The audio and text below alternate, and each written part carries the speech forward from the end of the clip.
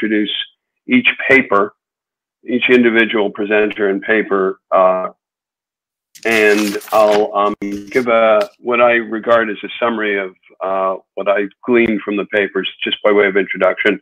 As you all know, you have uh, 15 minutes, and uh, you'll get a five-minute warning and a one-minute warning if required. And um, we'll take questions. We'll take. Oops. We'll take questions uh, at the end of each paper. Okay. So um, we'll begin uh, with uh, my my old friend, except we never see each other in person, Joseph Vancell, Department of Leadership for Learning and Innovation, Faculty of Education, University of Malta. The title of the paper is The COVID-19 Pandemic and Its Effects on the Pre-Service Teacher Practicum, a literature review. And this paper proceeds from the recognition that the hardest hit teacher training dimension among the considerable COVID disruptions was the pre-service practicum. The paper offers a comprehensive literature review of numerous and varied practicum modalities that were defined and conducted around the globe the, during the pandemic in 2021, uh, 2020 and 2021. The literature review addresses, in my view, the important question of how pa the pandemic has impacted teacher education in broad terms and students' practicum in particular terms. This is a review with consequences, I see it, as it explores alternative pedagogies and emergent technologies and applications critical for teacher education beyond normal and established educational practices. Uh, I'll ask um, those that are uh, not presenting, Il Ilana, if you could turn off your camera. And thank you. And uh, we'll turn the floor over to Joseph. Thank you, Martin. Um, I must start with a disclaimer. Um, I'm a specialist in e-learning or, or as it is called in today, online learning. Um, I'm also the field placement coordinator of the Faculty of Education of the University of Malta, uh, where I place students uh, to do their practicum, to do their experience in teaching. Now, contrary to what has been written in anecdotal accounts, that is, that online learning is beneficial um, for teacher training, the scientific, the, the, the emerging scientific in, inquiries is proving, are proving the contrary. Indeed, many students and academics are saying that, that, that, that the modality is creating stress and anxiety um, upon the teachers and the learners. So that's my disclaimer.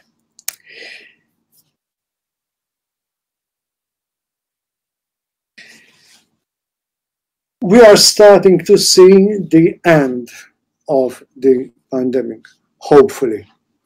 Indeed, um, yesterday in Malta, um, the health authorities have stopped the restriction of face coverings, for face coverings um, if you're in a group of two, you can take off your mask. Otherwise, you have to keep your mask on. But that was one of the uh, restrictions that is being lifted and something that is bringing hope to the population, which has now um, been suffering isolation uh, and and other other woes um, for um, for more than for more than for more than a year. We've been battling um, COVID as all the other countries since mid March 2020.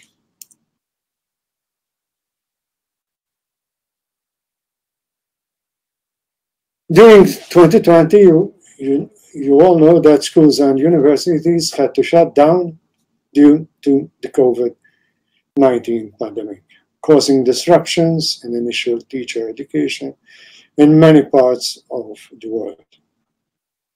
The training dimension, as Martin has correctly um, said uh, in, this, uh, in, his, in his introduction, um, was the hardest hit in the pre-service. Uh, sorry, um, the training on dimension that was hardest hit um, in teacher training was the pre-service practical. Due to the shutdown, prospective teachers were deprived of the normal field experience and actual classroom teaching practices in authentic school settings. I had a situation where I had sent 150 students uh, on their field placement and the practicum had to be cut short after two weeks.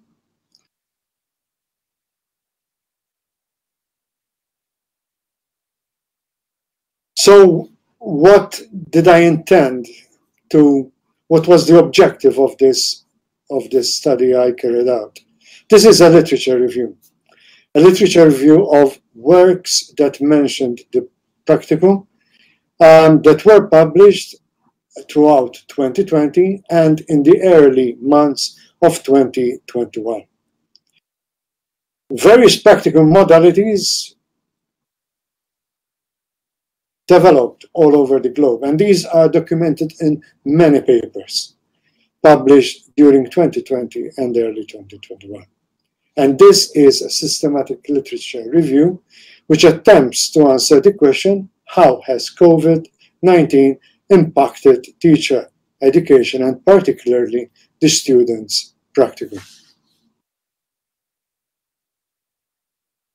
As you all know, the practicum is a key component of initial teacher education programs. It is during this phase that future teachers can apply all the theoretical and pedagogical knowledge that they have acquired during their studies and test teaching abilities and critical thinking skills. It is usually a formative exercise.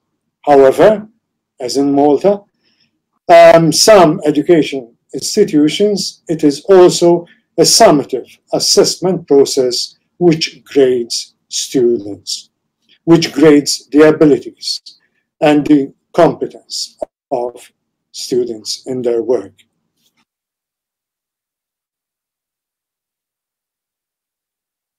The literature agreed that qualified teachers, students, and faculty members were rather lost when the schools and colleges were physically shut down.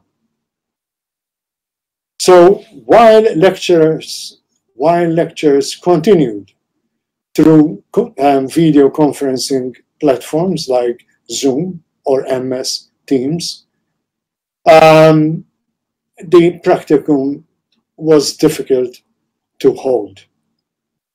And there was this feeling that there was this feeling that we had to create something new, something acceptable to the school leaders.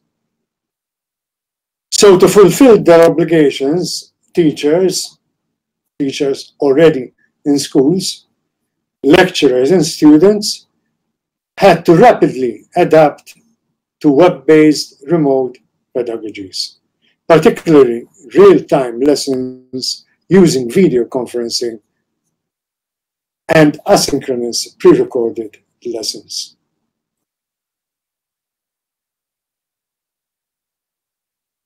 In March 2020, all qualified teachers went online. And this was a sudden change of setting and teaching modality.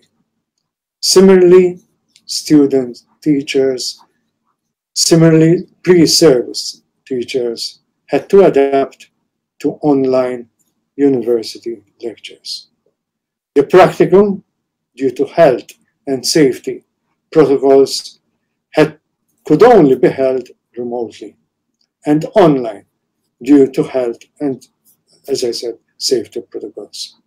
So um, there was this sudden change in modality.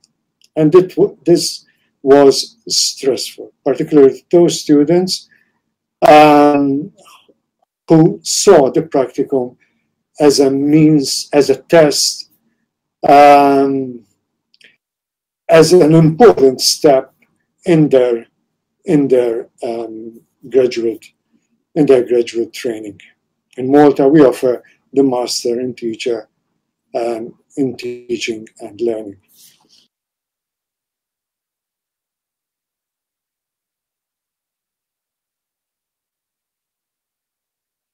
This was a difficult move. This was a really difficult move, particularly because online learning was not a preferred mode of teaching and learning. So although generally termed online education, few educators and students had knowledge, sorry for that mistake, had knowledge of the theory and were trained in the practice of online teaching and learning. They rather used video conferencing and recordings of lessons to substitute and emulate classroom teaching.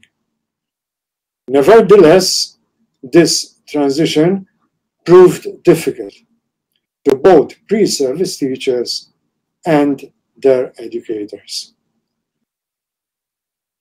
Preliminary research in the field um, is showing that um, educa uh, the um, education academics are saying that a, any practicum, an electronic practicum, can never substitute, it can help, but it can never substitute a real, authentic, in class um, um, practicum in the classroom.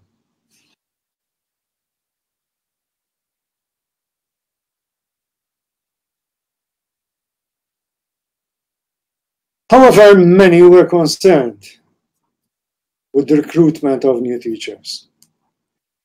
And were concerned also with the dangers of preparing teachers who know much about theory and little about practice. Indeed, we, we were thinking of uh, not doing the practicum, but we had this pressure, um, we had to succumb to this pressure and um, coming from ministries and other stakeholders, and that these teachers needed experience of an ex the experience of teaching. Five minutes.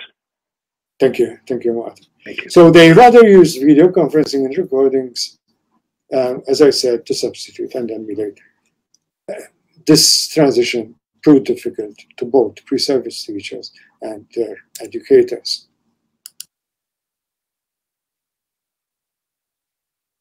Sifting through the papers, I found four um, conceptualizations, four um, themes that emerged strongly from the papers. One was video conferencing. There were various modalities that were used. Pre-service teachers cooperated, for example, with teachers and built technology mediated lessons that were then integrated into collaborating teacher schemes of work. There were there was the reemergence of micro-teaching, that is peer learning whereby pre-service teachers acted as students. Student teachers were also asked to teach family members and friends, children in the near neighborhood or local community, and even compose TED-type mini lessons. This happened in many countries. For example, in Israel, in Cyprus, and um, in other countries.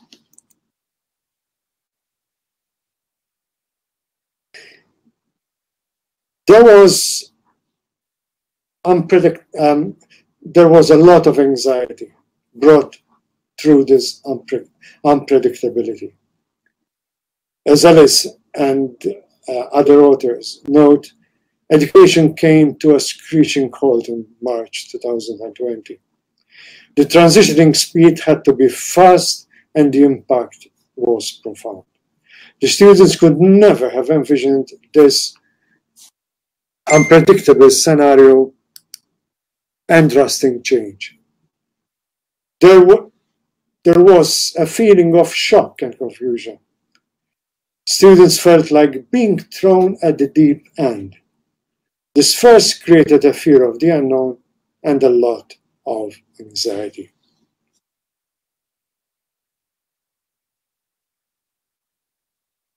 The papers also agreed that, however, there was this positive shift towards technology-mediated education. This, this, was a more positive um, benefit. It, it, was a benefit of, of the pandemic. Um, this positive shift observed in university examiners assessment processes and the students' attitudes. The lockdown helped to alleviate academic staff and students' fears about online learning and removed some of the resistance that existed in pre-COVID days. Gedan Marie, for example, reported that most of those concerned experienced a sense of innovation as they developed new technological skills or reconfigured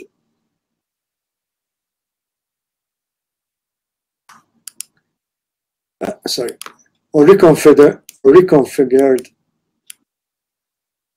um, previous practices for the online environment.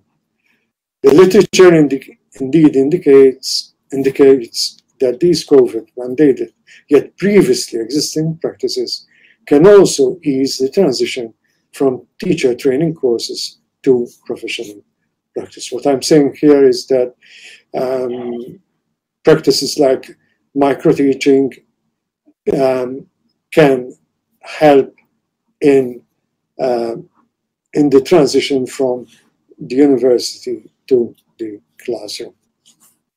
One minute. Thank you. What's happening here? Okay.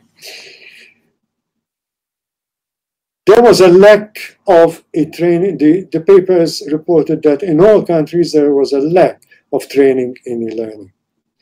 School leaders, academics, and students failed to differentiate between e-learning and distance learning caused by this health crisis. In e-learning, there tends to be extensive, anticipated, and careful planning, long-term investment, strategies uh, that are long-term, and evidence-based approaches to establish the desired type of learning environment. In distance learning, ongoing planning and design of online courses on the spot adaptations to face-to-face -face courses and familiarization with new technologies for teaching and learning seem to be the predominant factors. So um, teachers lacked the training pre-service teachers also lacked the training in e-learning. And above all, academics lacked the training in e-learning.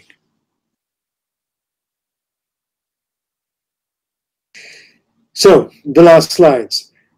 Field placement had to readapt itself to distance learning forms during 2020. Inequality and social injustice um, um, were noted in the papers, communities of teacher training providers, okay, where the technology, internet infrastructure was lacking, um, the training provision lacked. The literature agrees that academics and students needed more exposure to theoretical knowledge and online learning experiences before engaging any practicums.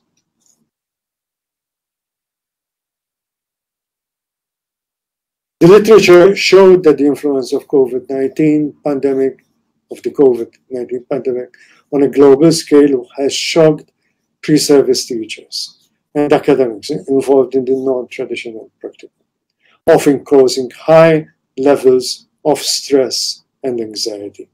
At the same time, this long-term emergency inspired them to find solutions to problems that they have not encountered before. A number of benefits were, however, noted. These included, uh, in addition to learning how to teach, students also learned how to teach online, a valuable and needed commodity in today's world. A change in attitude towards technology by students and academics towards technology enhanced learning or technology mediated learning. This is the last slide. The other benefits include there is an increase, there is a noted increase in interactivity, relatedness, and professional learning, um, sustained in, for example, professional learning communities that involve collaborating teachers, mentors, assessors, and students. The more innovative approaches, for example, micro-teaching through internet-mediated recordings and remote PLCs might be retained in the future. Obviously, there is a dearth here of uh, literature needed, of investigations needed.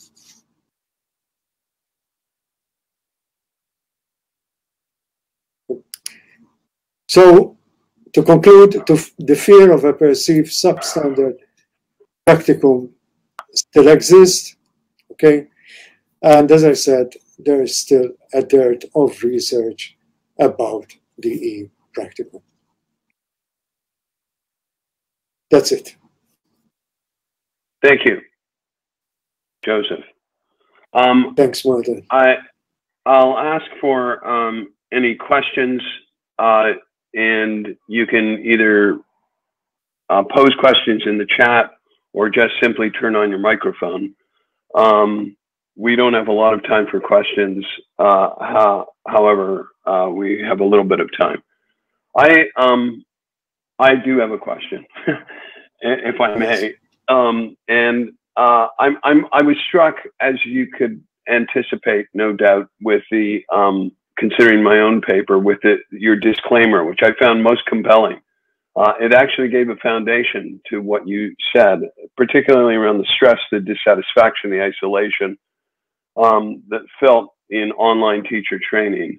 Um, I'm not going to ask you for the remedies because that would be impossible to do, but I wonder if you might expand on this. I, I was I was wanting to attach this disclaimer to um, your observation that um, teachers, students, faculty were quote rather lost, and you characterized I think, very forcefully the sense of anxiety and unpredictability.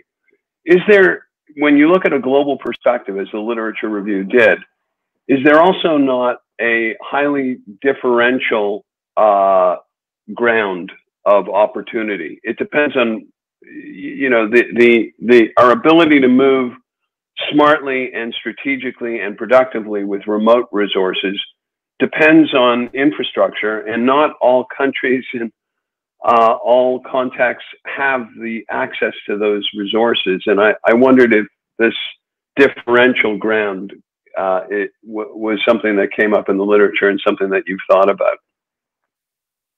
Um, Accessibility and opportunity. I must start with uh, an anecdote. I remember one of my professors giving a whole lecture about dialogue in education mm. in a straightforward lecture. It was a lecture about dialogue. Why am, am I saying this? Because the problem is not only structural. The problem is um, the way academics look at technology. Technology is still seen as um, the black sheep of educational institutions. We know we need it, we know that it is good for students, yet we still spend far less time talking and working with students on technology enhanced solutions than we do, for example, on theory and other um, content knowledge. Mhm. I think we need to change the attitude within the universities themselves. I think the universities need to open up. I think teacher education institutions need to open up to these new technologies. We do have, for example, blockchain. We can't go better than that in technology mediated education, if you want. But blockchain is not used. The first thing that came to your mind when I said blockchain is money. Yep. It's Bitcoin. But Or ideology.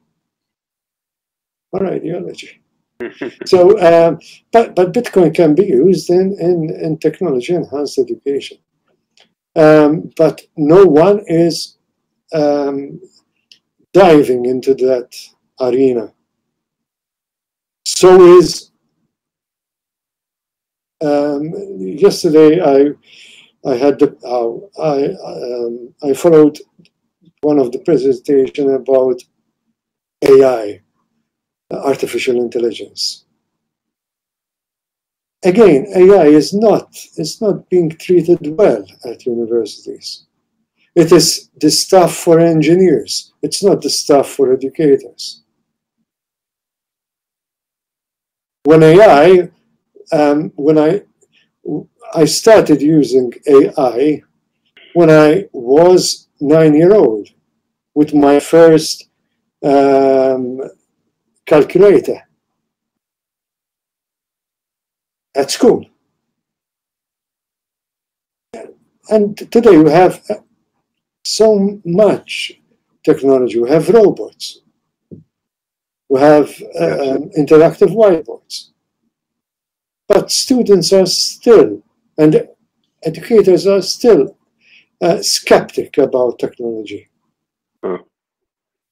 I um I I agree. I think this is a, a key determinant.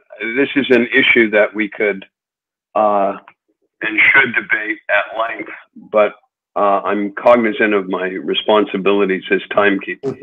So I'm so I'm going to bring this to a close. I want to thank Joseph very much. Of course, if we were in the room to get all together, we you would hear applause. Thanks, Martin. Uh, all right. See you next. Um, I hope to see you next year in person. in Firenze, absolutely the case. Thank you again. Thank you. Cheers, Martin. Cheers. We'll move on to our second presenter when the slides come up.